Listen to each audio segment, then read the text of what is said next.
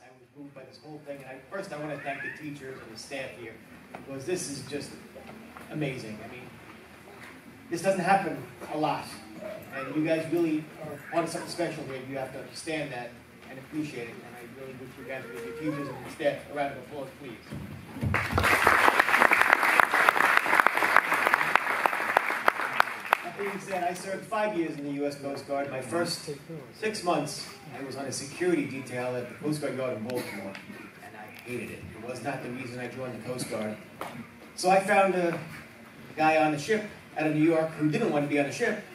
So he and I did what was called a mutual transfer at no cost to the government. One day we switched spots.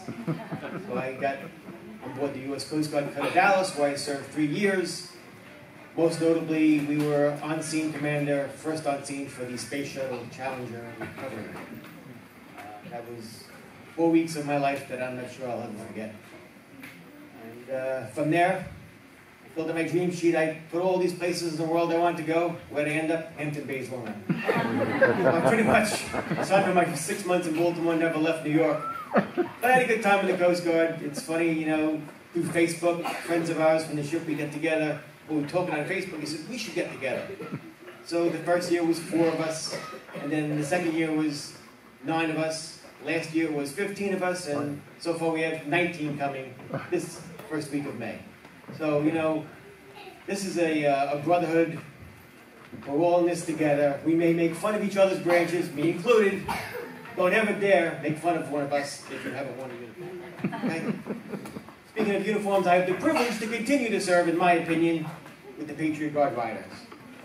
For those who don't know about the Patriot Guard Riders, when you guys were talking about special numbers, today I guess would be considered a special number because today is our 13th anniversary. 13 years ago today, a group of American Legion riders decided to show up at a funeral because there was a, a group that planned to protest a, a soldier's funeral. And these eight American Legion riders said, not today, not in my town, you're not going to disrespect the soldier. So they formed a flag line shielding the family from these protesters. And from that, the Patriot Guard was born. We were, at one point, more than 300,000 nationwide.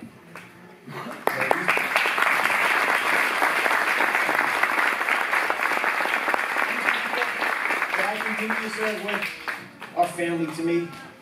Some of them have never served in the military, doesn't matter. Some don't ride a motorcycle, doesn't matter.